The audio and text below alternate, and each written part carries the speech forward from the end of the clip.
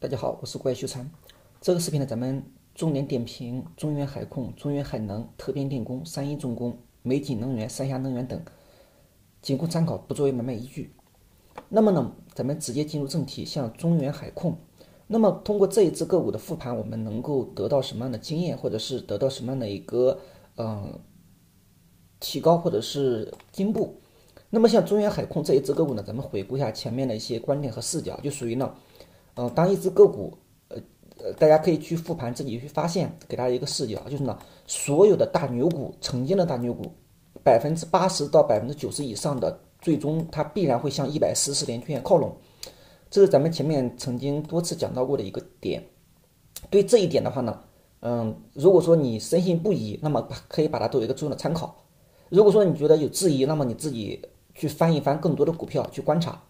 那么到一百四十年均线撑得住是一个节点，撑不住，那么呢又是另外一个节点。撑得住的话呢，对应的如果说有这样的一个内部有结构有背驰有量能的提振，它是机会点；撑不住的话呢，它就是新的弱势的开启。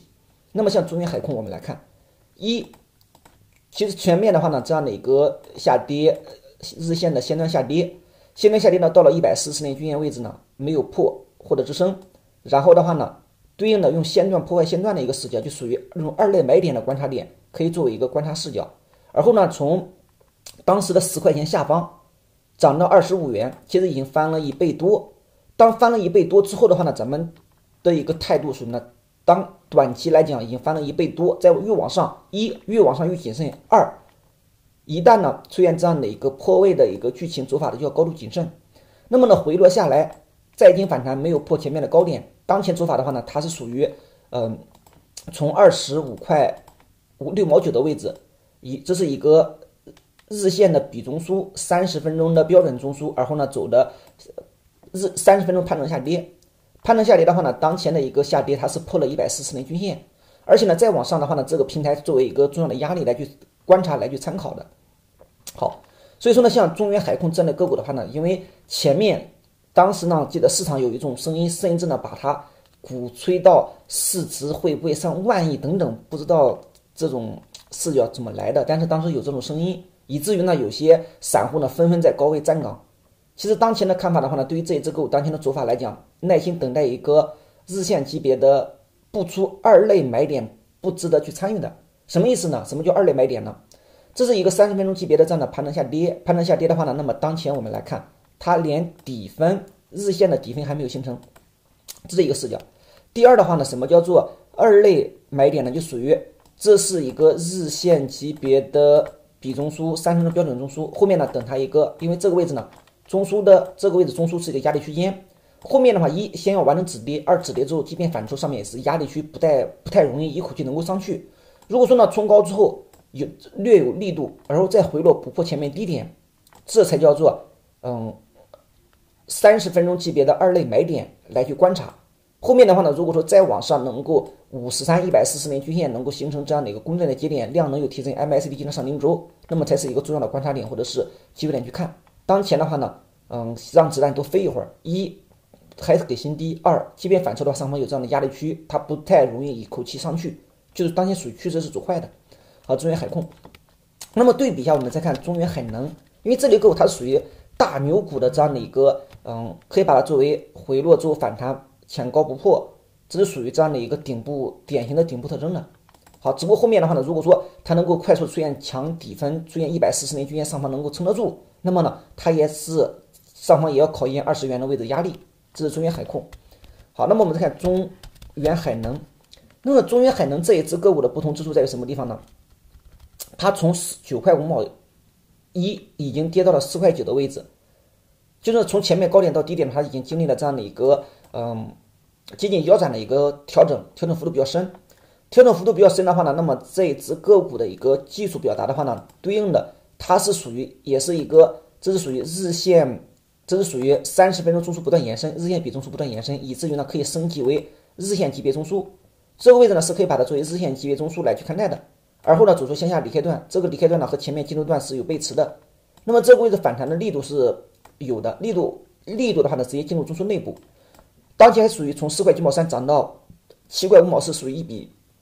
上的延续。一比上的延续的话呢，那么像对待这类个股的一个观察视角，它的一个节点有的，当时呢看到有朋友关心这类个股现在去买，嗯，有没有追高，或者是嗯会不会呈现接盘的一种特征？这里面就取决于你对买点的一个认识啊。咱们前面讲的任何方法，不管是缠论视角还是属于用三线操盘的，嗯，一个节点，都是以低吸的一个维度，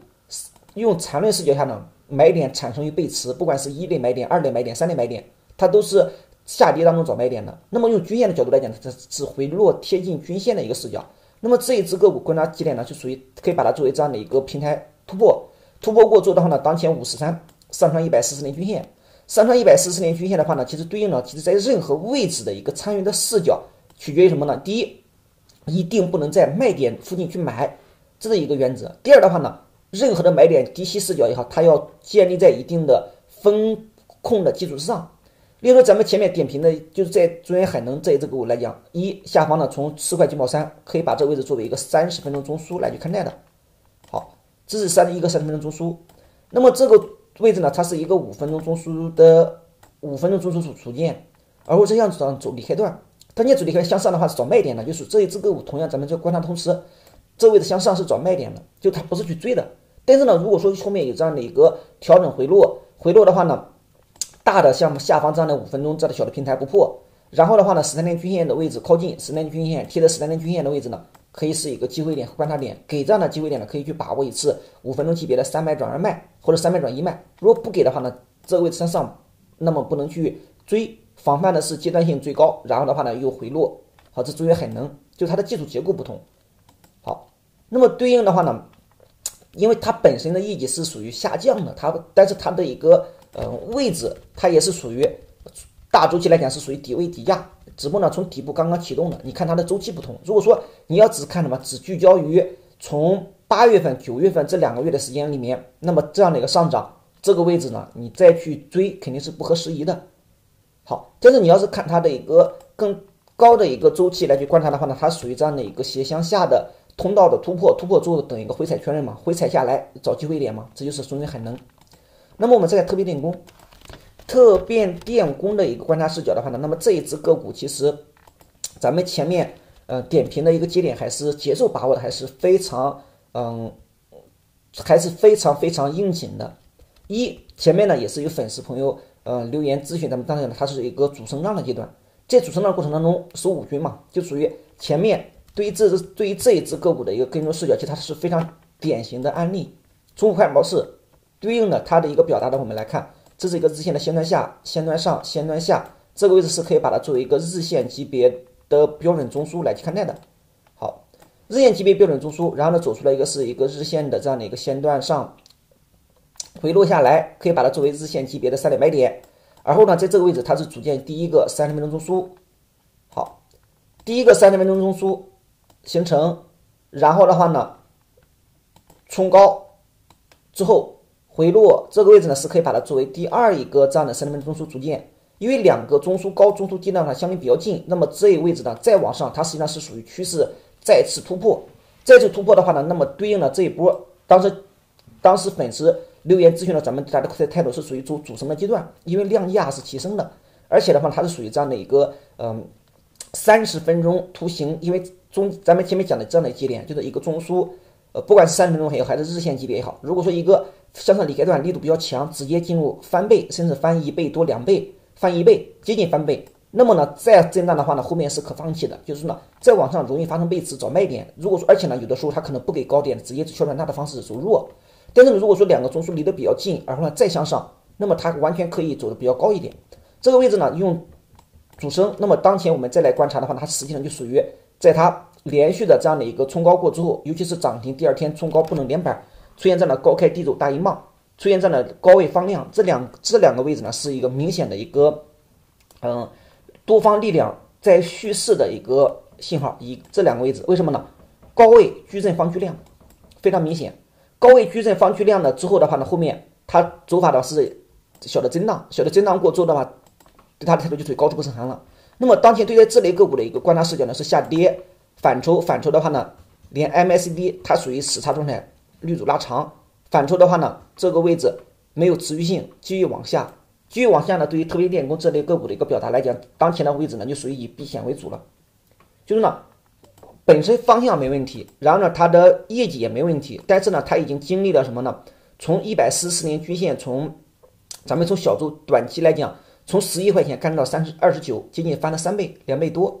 两倍多的话呢，那么当前它的一个剧情从阶段性的一个观察节点，就是从例如从十块七毛三的位置。十块七毛三的位置，那么对应的话呢，这个位置作为一个三十分钟中枢来去对待。那么这个位置呢，因为主升走的力度比较高，从十五到三十已经直接翻倍，后面的话呢，基本就可以放弃了。这是咱们前面讲的一种经验之谈，就是呢，一个中枢形成过之后呢，向上这个向上离开段走的比较强，后面的话呢，是防范的是，如果说震一震给第二个中枢，那么呢，向上也容易找，也是容易发生背驰找卖点的。但是呢，很多时候它完全不给这种结构，而是呢直接以小量大的方式直接直接走弱。其实当前呢还是一笔下的一个调整，一笔下的调整的话呢，那么当它靠近下方的一百四十四年均线的位置，当它靠近这个中枢平台上沿的位置，它可能是一个支撑的节点。而当前的话呢，它还属于弱势当中，或者特别练功，所以那么从中也能够得到一些嗯有就是作为一个总结和巩固来讲，那么呢，第一能不能充分的。认识到一点，就是呢，当一个平台出现之后，直接走主升，例如呢翻一倍甚至一倍多，后面再出现震荡的时候，要么是不参与直接放弃，要么是高度谨慎，仓位越往上，仓位越轻。然后的话呢，一旦出现这样的一个破位或出现这样的一个嗯走弱，那么及时的离场，而不是说越往上越疯狂，越重仓越去赌。好，这特别练功。那么我们再来去看像三阴重工。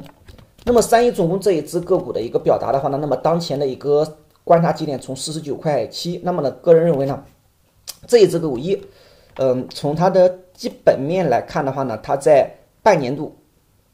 归属母公司净利润呢是一百个亿，净利增长率百分之十七，一季度的话呢是净增净利润增长率百分之一百四十六，它作为工程机械的行业龙头，行业龙头的话呢，它跟行业整个关系，整个行业的环境有关系啊。那么这一只股呢，它历史上它是属于这样的一个十倍的大牛股的。那么十倍大牛股从高到低，当前已经接近腰斩，就是从四十九跌到前面的二十四，已经腰斩。腰斩过之后呢，当前的一个表达，我们来看，从前面四十九块七的位置一度下跌，下跌的话呢，到了前面十倍的大牛股，但是呢，一旦行业发生变化或者市场的风格认同度发生变化，那么它出现这样的调整，其实也毫不含糊的。那么调整过程呢，破了一百四十年均线，又是一个新的观察点，新的一个就是新的风险点，新的这样的转弱。这个位置呢，组建了一个日日线比中枢，也是三十分钟级别的标准中枢。这个位置呢，实际上它就是一个三十分钟的判断下跌。判断下跌过程中呢，当前它是走法呢是属于这个位置再反弹回落不破前面低点，这就属于三十分三十分钟级别的二类买点，二类买点。这个位置呢，从二十四块零一，这是一个日线的线段上，当前走法呢是一个日线的线段下。日线线段下的话呢，那么它的一个表达的话呢，我们来观察这个位置和这个位置，它们之间存在背驰，存在这样的一个嗯背驰关系，就是它那边之间的下跌的力度来讲是变缓的。然后呢，这个就是日线的线段上，日线的线段下，日线线段下呢不破前面低点，那么它内部之间的又这样的背驰，所以说这个这个股来讲的话呢，从技术表达上面来讲，它只要说二十四块零一前面低点不破，那么它存在短期反弹的可能性。只不过呢，它是没有趋势的，没有趋势呢。咱们前面讲到过，一百四十四年均线下方的个股，不要用趋势的眼光去跟，不要用趋势的眼光去看，要么要么不参与，要么呢用短线超短的视角来去跟。只不过像这类个股的话呢，它从四十九跌到二十四块零一，那么呢，从结构上面来讲，好，这个位置呢是可以把它作为这样的一个呃三十分钟中枢，然后的话呢，当前的一个表达，后面的话呢，观察的节点是什么呢？它的内部。这个位置和它有背驰，然后呢，这是日线的线段上，日线的线段下，线段下呢，只要不破前面低点，那么可以期待一个，嗯，列出呢，呃，可以期待一个短周期的这样的一个反弹，但是一百四十年均线依然是有承压的，承压过之后呢，如果说后面跟踪的一个视角，就是呢，什么时候能够这个位置的跟踪的节点呢？它的推演方式有两种，一，这位的作为一个三十分钟中枢延伸，中枢延伸的话呢，依然可以期待三十分钟级别的向上离开段的一个走法，这是一种推演。另外一种推演方式呢是什么呢？它持续震荡摸底，走一个日线的线段上，然后呢日线的线段下，而后的话呢组建一个日线级别的中枢，而后呢再向上走避开段。但是呢，从趋势的视角来讲，它一从从趋势的眼光来去看，它一定要五十三上穿一百四十年均线，然后呢量能又提升，MACD 金叉上零轴，它这是一个趋势的机会点。那么当前对于三鹰重工这类个股的话呢，个人认为从中长期的一个视角来讲，一从高位到低已经腰斩；第二的话呢，短周期来讲，它是一个从二十四块零一前面这一波呢可以把它有一个试探，后面回落的话呢，二次回落，当前不足之处在于量能没有提振。好，这用三十分钟的视角来讲，这个位置它是典型的呈现的是一个典型的呃盘整，就是盘盘整背驰，盘整背驰是针对线段的，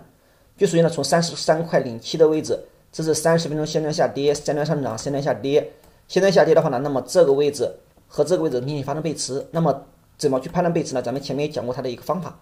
很简单，低点到这样的一个下沿重合区间下沿，高点到重合区间上沿，